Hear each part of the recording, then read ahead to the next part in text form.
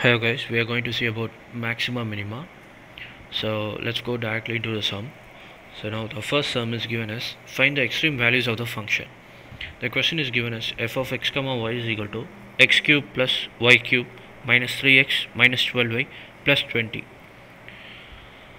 So as soon as you see the sum, you are going to need to find f of x and f of y. f of x is nothing but differentiating the given equation with respect to x. So if you differentiate the given equation with respect to x you will be getting as 3x square minus 3 and if you differentiate this equation with respect to y it's f of y and it's nothing but 3y square and minus 12 so as soon as you found f of x and f of y you're going to found a. A is nothing but f of xx that is differentiating f of x with respect to x.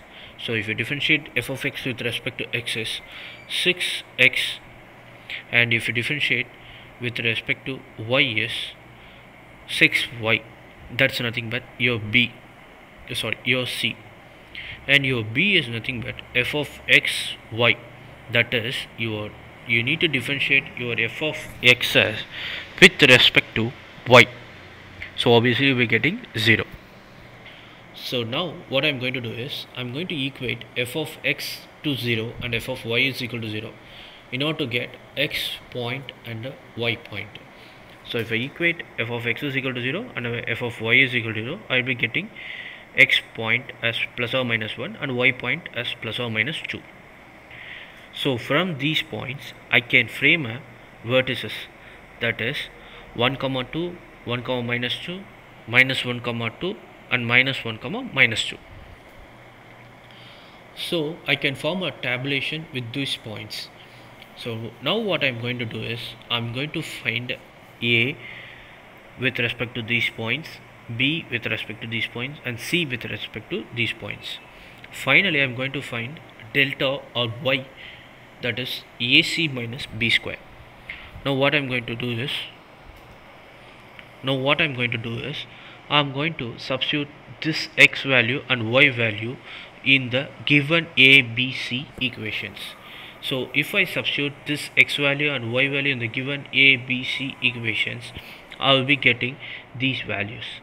So for example if I substituting 1 comma 2 in a b c I will be getting in a as 6 and I will be getting c as 12 and I will also be getting AC minus B square as 72. Similarly, I will be getting this answers in the respective points. So from this, I am going to conclude whether the given point is minimum or maximum point. How I am going to conclude is very simple. If the delta point or y point that is AC minus B square is greater than 0 and also my a point is also greater than 0 then the found point that is 1 comma 2 is minimum point. In the other otherwise if my delta point is greater than 0 and my a point is lesser than 0 and the given point or the found point will be the maximum point. If my delta point is lesser than 0 and the given point is either greater or lesser than 0 then the given point is saddle point in order to confirm what I found here I'm going to substitute these points of x and y in the question or given equation here. If I substitute I will be getting maximum point and my minimum point here. So let's go to the second value second sum. So this is my second sum this is my second sum and it's nothing but a rectangular box open at the top is to have a volume of 32 cc find the dimension of the box that requires the least material for its con construction. So uh, here I'm going to consider x, y, z as length, breadth and height. Since you know the surface area of the rectangular is 2xy plus 2yz plus 2zx and the volume of the rectangle is xyz since the volume value of the volume is given as 32 cc I'm going to consider this as xyz is equal to 32 and I'm going to take this surface area and volume in the auxiliary function. So it is considered as f of capital F of x comma y comma z comma lambda is equal to xy plus 2yz plus 2zx plus lambda of volume. Volume value is taken as xyz minus 32 so now i'm going to consider the stationary points. Stationary points is nothing but f of x f of y and f of z. I'm going to equate all the values like f of x is equal to 0 f of y is equal to 0 and f of z is equal to 0 and this is considered as extremum points. So if i equate f of x is equal to 0 means i'm going to differentiate this equation with respect to f of x that is with respect to x.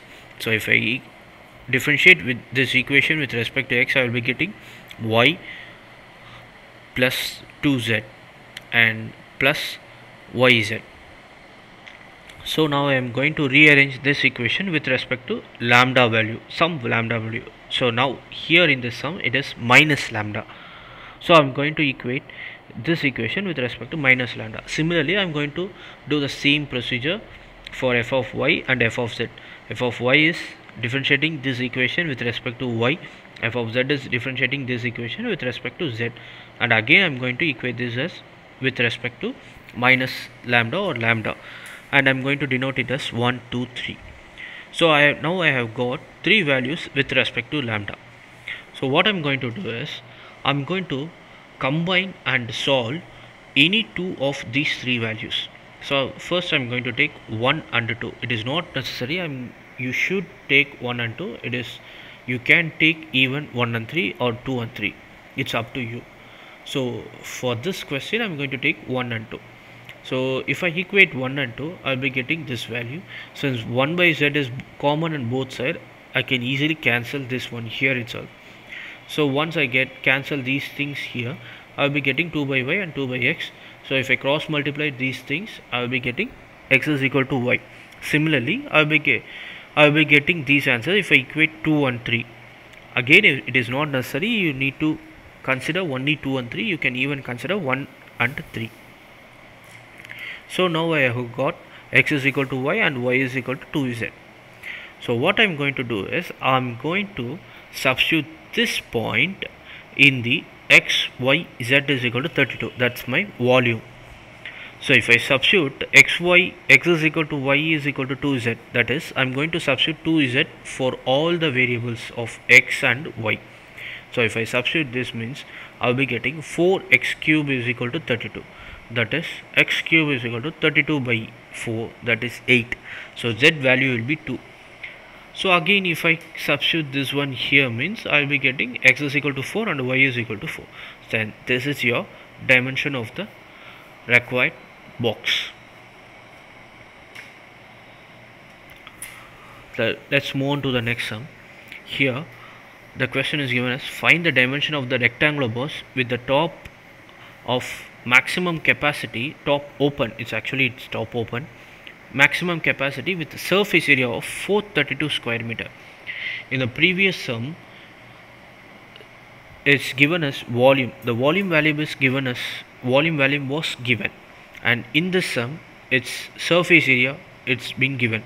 So whatever the value has been given has to be taken as g of x or it should be taken with the lambda value so here surface area value was given. So it should be taken with the lambda value. And here volume is not given and it should be taken without lambda value. And here the auxiliary form can be written as f of x comma y comma z comma lambda is equal to x y z plus lambda of xy plus 2yz plus 2zx is equal to 42 so i'm going to take this equal to 42 in this side. So it will become as minus 432 so now what I'm going to do is I'm going to consider the stationary points f of x, f of y and f of z and I'm going to equate these things with respect to 0. so again I will be getting some value with respect to 1 by lambda. So it is here it is minus 1 by lambda again I will be getting f of x is equal to 0 again f of y is equal to 0 f of z is equal to 0 and the values will be uh, with respect to minus 1 by lambda.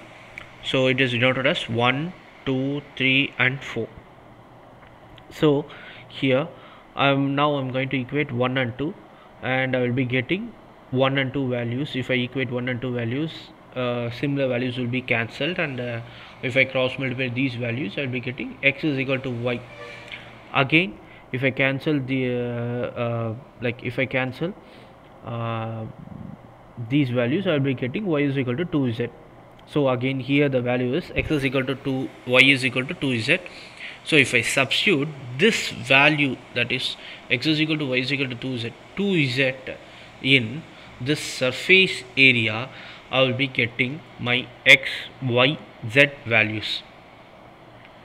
So my z value is 6 and my x value is 12 and my y value is 12 so finally my dimension of the box is 12 12 6 so this is for maxima minima. And if you like this video give us a like and subscribe